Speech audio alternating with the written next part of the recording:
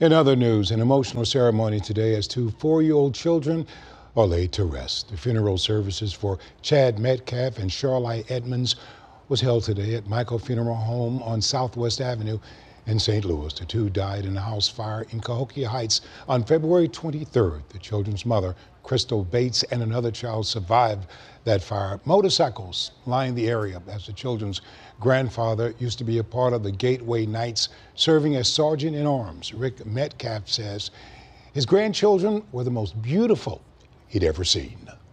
Chad had the biggest heart. He'd, he'd give his cousins his toy just to make them happy. Eh, I don't know if I've ever seen a little boy like that in my life. He was just beautiful. And Sharli, steal your heart in the back pocket with a smile. She had so many beautiful curls. She was mama's sidekick. Metcalf says the family, well, they're holding up as best they can. They're holding each other up, crying. A GoFundMe has been established for the family. You can find a link on our website, kplr11.com.